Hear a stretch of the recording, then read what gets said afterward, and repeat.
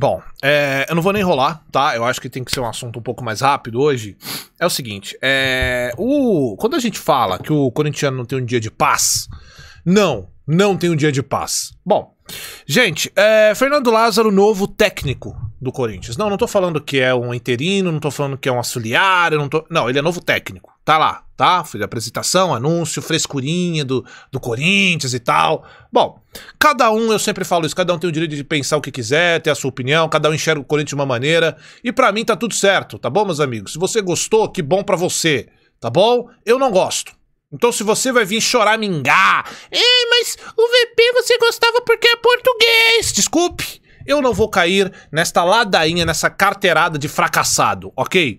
Porque quando um clube tá mirando para cima e de repente ele começa a mirar para baixo, para mim não tem explicação isso aí. E aí, quando eu digo para baixo, não é em relação a desmerecer Fernando Lázaro, que quando assumiu, entrou numas buchas, conseguiu ainda segurar uns resultados, só que quando você para para pensar o porquê ele conseguiu segurar os resultados, você tem a resposta da qual você está perguntando do porquê eu não gosto do Fernando Lázaro correto? Eu não vou nem entrar no mérito aqui dos times que o Fernando Lázaro enfrentou, tá? E eu realmente acredito que ele possa fazer um bom paulista. Acredito, ok. Agora, para mim, o que pega, meu amigo, você já sabe a minha opinião, eu não fico aqui de paninho. Se tem torcedor chá, é, é, que fica puto com o que eu falo, aí vocês podem sangrar, porque eu vou fazer vocês sangrar até amanhã. E se você concorda comigo, meu amigo, muito obrigado, tá? Não tô aqui para agradar todo mundo, infelizmente, né? A gente fala, a gente dá a nossa opinião dentro daquilo que a gente acredita correto? Eu sempre tento fazer isso, eu sempre tento dar para vocês uma opinião da qual eu acredito, correto? Então vou explicar para vocês o porquê para mim Fernando Lázaro é burrice, é incoerência, é, enfim, né? A gente pode desenrolar sobre isso aí. Primeiramente, mais uma vez, cara, se você discorda do que eu tô falando, por favor, Comenta aqui, digo por quê. Porque geralmente eu. É, mas tá falando merda. Aí você perguntar, mas por quê? O cara não sabe. Né? Ele só quer discordar. É, sabe o acéfalo, que ele só quer discordar, assim, para parecer que ele entende alguma coisa de futebol? Não, vou discordar, vou discordar. Mas por quê? Não sabe. Então discorde, mas digo por quê. Coração, discorde porque acho que o Fernando Lázaro é melhor que o VP, porque acho que. Diga aí, quero ouvir, tá bom? Bom, é, antes de mais nada, rapaziada, é o seguinte: quando você tem quando você segue e você prega, você costura na cabeça das pessoas uma linha de raciocínio da qual você quer seguir, você, no mínimo, tem que ser coerente com aquilo que você diz. Correto? Então, o que, que a gente vê dessa diretoria? Ela, ela tá só fazendo caca? Não, o Duílio tem acerto. Só que é o seguinte, quando você para pra pensar no que a diretoria busca e no, no que do nada ela resolve mudar de ideia, você vai entender perfeitamente aonde eu quero chegar, correto? Então é o seguinte, rapaziada, vamos lá. Quando você vai lá e contrata um Vitor Pereira por, mod, por modinha, porque assim, se tem uma coisa que essa diretoria do Corinthians infelizmente não tem, é personalidade, é bancar o que fala, é ter coerência nas palavras. Não, eles vão agir de acordo com o que o mercado diz, com o que parte da torcida chata do Twitter quer. Esse é, essa é a real direção do Corinthians. A real direção do Corinthians é: vou olhar na internet e vou ver o que, que eu posso fazer de bom. Só que nesse caso aí do Fernando Lázaro, contraria um, pouco, porque pode ter certeza. Ó, pode anotar o que eu tô falando, hein? Já já vai começar a aparecer os. É, gostava do VP só porque ele era português. Agora, só porque é o Lázaro ele não é português. Vamos lá, deixa eu deixar uma coisa clara, já pra anular argumento de burro, porque eu não tenho saco mais não. Eu tô na internet muito tempo, eu não tenho paciência pra burro mais não. Tá bom. Desculpa, gente, eu sei que a maioria que me acompanha não é, mas você tem que explicar hoje na internet, tintim por tintim, porque é, não dá mais, né? Bom, vamos lá. Antes de mais nada, assim como eu falei com o Silvinho, espero que o Fernando Lázaro faça um bom trabalho e vamos esperar agora. falei isso com o Silvinho, né? Não falei? Depois meti o cacete. Mas antes de mais nada, eu sempre, em todas as ocasiões, eu chego aqui e falo, galera, tudo bem. Era minha escolha, olha, parece que eu tô repetindo o que eu falei do Silvinho. Era minha escolha? Obviamente que não. Para mim é uma escolha burra. Mais uma. Só que já foi escolhido. Ele vai ser o treinador. Lázaro, ok? É... Você gosta, você não gosta? Não interessa, já tá lá. Não interessa, né? Já tá lá. Então, vamos apoiar, vamos esperar o que, que o Lázaro vai ter. Só que dentro disso eu posso tecer a minha opinião a respeito. Tenho coisas contra o Lázaro, pessoa? Obviamente que não. Tenho coisas contra o Lázaro assumir o Corinthians? Claro que tenho. Para mim, não é capacitado, não quero saber se tá pronto, se é talento, se, se, ah, se a diretoria confia. Porque se a diretoria confia, é mais um motivo para eu não confiar. Sabe quem que é composto da sua diretoria, o amiguinho do Twitter? Sabe quem que é composto da diretoria? Roberto de Andrade, Alessandro. Essa é sua diretoria. Então, se essa diretoria confia, se essa diretoria tá de um lado, em relação à confiança, eu estou do outro. É basicamente assim que funciona nos últimos anos para mim. E olha que eu estive certo, hein? Olha que eu me provei estar certo nos últimos acontecimentos aí. Correto? Beleza. Então, deixando claro, não tenho nada pessoal contra o Lázaro, pode ser que um dia se torne um treinador, tem que ter um começo, concordo, mas não no Corinthians. Não no Corinthians quando o Corinthians quer simplesmente brigar com o Flamengo, com o Atlético Mineiro. Não no Corinthians quando a gente espera um planejamento decente, com peças decentes para 2023. Então o que, que a gente tem para 2023? Fernando Lázaro e Romero. Para brigar contra o Flamengo, para brigar contra o Palmeiras, o Atlético Mineiro levou o Cudê. Então, nessas tomadas de decisões, a gente vê quem que tá levando o Corinthians a sério, quem que tá levando o 2023 a sério e quem não tá. E se você, meu amigo, vou falar mesmo, desculpa, pode ficar puto. Se você acha que Fernando Lázaro para 2020, pode, pode ser que esse vídeo aqui envelheça mal. Pode ser que nossa, que surpresa, ele arrebentou. Pode, é futebol. Agora, desculpe. Se você não está enxergando que a, a, a, a, eu não consigo ver isso de outra forma ser burrice. Você pode ter outra palavra aí, por favor, deixa aí. Se você tiver outra palavra para isso. Agora, se você não está enxergando, se você está achando legalzão, nossa, vamos pegar lá o cria da casa, né? Porque já tá aqui. Se você não está achando isso no mínimo estranho, o seu entendimento de futebol, principalmente brasileiro, ele é, está assistindo muito europeu.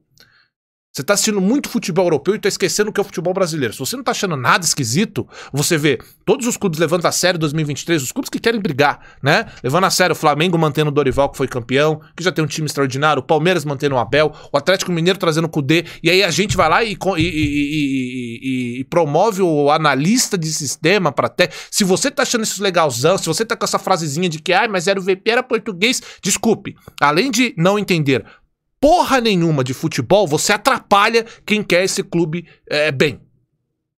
Porque é nítido, é nítido como age de forma burra e sem personalidade essa diretoria. É impressionante como ainda em 2022, o que eu já falo nos últimos anos, é impressionante como a amizadezinha é forte dentro do Corinthians a ponto de você ter que ir atrás de profissionais e você não conseguir ir atrás de profissionais. Ah, não, mas tem meu amigo aqui. Tem um amiguinho aqui que eu posso colocar ele como. Então, assim, pode ser que ele entregue um bom trabalho? Pode. Opa, é isso. A gente não contrata mais por. A gente tá falando do Corinthians, né? Deixa eu te falar. Antes que você dê qualquer argumento, a gente não tá falando da empresa da, da, da do, do, do, do, Mercadão, a gente não tá falando da barraquinha do seu Zé, a gente tá falando da empresa, da marca Corinthians. Vamos esperar aí o primeiro desencontro que tiver, o primeiro tropeço no Campeonato Paulista, perdendo aí pra um Água Santa. Aí eu quero ver o discursinho. E ainda sou obrigado a ver análise burra. Não, mas olha, não sei por que vocês dão tanto valor, porque o VP perdeu um monte de clássico e não sei o que lá. Se, vamos lá. Se, vou, deixar um, vou deixar aqui um pequeno disclaimer pro ano que vem. Se o Fernando Lázaro conseguir fazer o Corinthians chegar em quartas de final da Libertadores, em final da Copa do Brasil, só isso. E se manter no G6, G5, Campeonato Aí, para mim, ele já tem um ponto.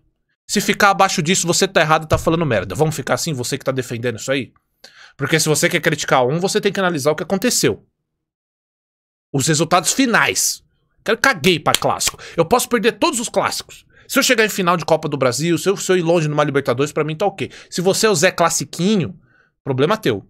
Quero ganhar clássico, acho importante. Só que se o Corinthians avançar em competições, que no final das contas, meu amigo, sabe o que vai fazer o Corinthians voltar ao Olimpo aí do futebol? Não é ganhar do Palmeiras, é ganhar uma Copa do Brasil é ganhar uma Libertadores. E não necessariamente você precisa ganhar do Palmeiras para isso. Ou eu tô louco? Não, né?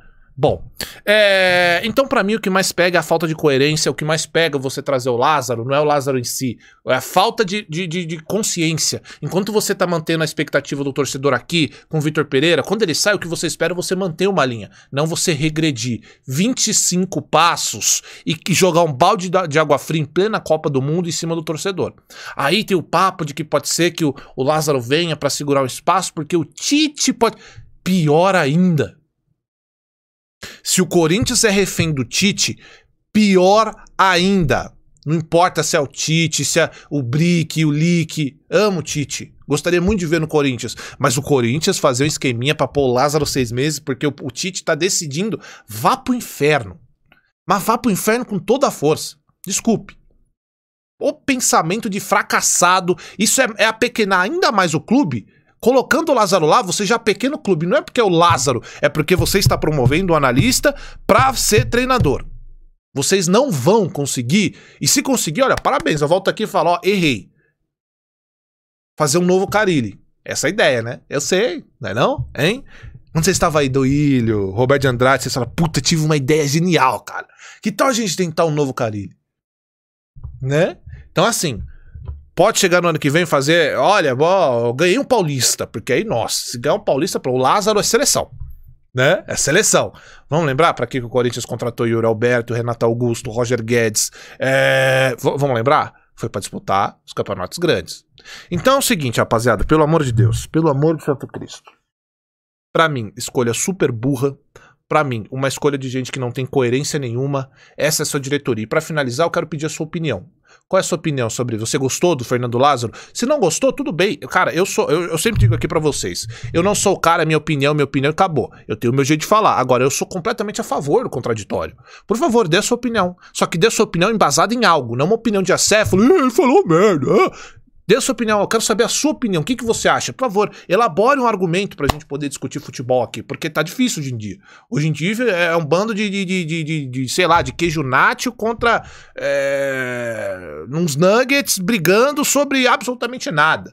Então, eu chego aqui, por mais que você não concorde, eu explico, dou minha opinião, embaso, dou argumento, tudo porque eu penso cada coisa, para não ficar aquela coisa de não, não sabe o que tá falando. Tudo que eu tô falando aqui, eu sei do que eu tô falando e eu acredito. Então eu quero saber a sua opinião. Você discorda? Por favor, discorde, é isso que eu quero. E se você concorda, por favor, diga também por quê. Para mim, Fernando Lázaro é um tiro no pé, é um balde de água fria, é uma, é uma falta de coerência absurda, não é porque é nacionalidade, é porque... Não, é porque, de acordo com o que a própria diretoria, meu amigo, não sou eu, estava falando, é uma incoerência absurda, tá bom? Comenta a sua opinião aqui. E é o seguinte, nós vamos ter os jogos da Copa, tá bom? É, do Brasil. Eu não vou fazer cobertura de jogo do Catar e Equador, que foi uma bosta de jogo, um castigo assistir aquilo. Infelizmente, eu vou assistir todos os jogos da Copa porque eu tô interessado, mas eu não vou fazer vídeo de pós-jogo de jogo merda não, tá bom? Então vai ter só do Brasa mesmo. Eu sei que tem umas outras seleções, obviamente, né, seleções grandes, mas só vou fazer do Brasa, beleza? Vai ser bem legal, então fica de olho aí, tá? Comenta aí sua opinião sobre tudo isso aí que eu falei. Valeu. Péssima ideia, péssima ideia.